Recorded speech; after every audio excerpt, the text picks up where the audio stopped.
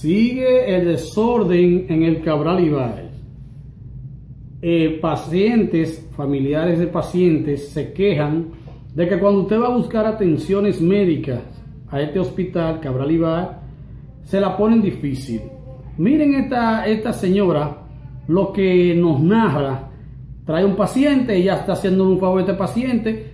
Luego, cuando llega al hospital, la jefa de los camilleros le dice que no, que tiene que dar la vuelta al paciente. La emergencia está ahí. Usted tiene que atender a ese paciente, darle prioridad a un paciente que no puede caminar. Vamos a escuchar lo que dice esta señora regada con relación a esto.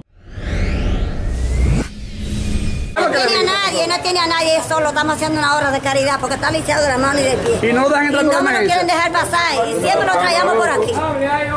Entonces se lo dejo botado aquí, ¿qué usted me dice? No tiene familia, no tiene a nadie. ¿De dónde vienen? De los Pérez de Burrabo, casi de Puntezuelo.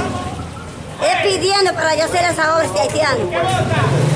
Porque él solo no tiene familia, no tiene donde vivir. Que demos la Sabana Larga, donde esa mujer me estaba dando Pero si la la emergencia está ahí, doña, ¿por qué tiene que dar la Por aquí yo siempre lo traigo y ellos no me lo quieren aceptar por aquí. Pero es un paciente y tiene que Es un paciente y está casi muerto, vea, lisiado de tu aparte. Porque el haitiano no lo quieren dejar cruzar. Que le den un camillero para le den Exacto, que me digan que busque un camillero nuevo y que deje la silla ahí y que lo entre. Pero no que dé la vuelta porque quien yo estoy lisiada, que no puedo hacer fuerza. Ella me está dando una ayuda.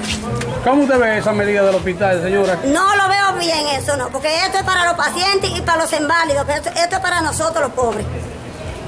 Gracias, señora.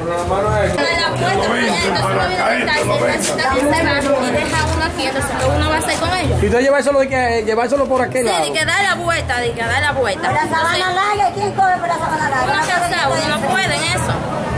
Dale por ahí, dale por ahí, con tu camilla, vamos, dale por ahí, nosotros vamos ahí, ustedes vamos, dale por ahí. Vamos, denos una ayudita en eso, porque que no podamos.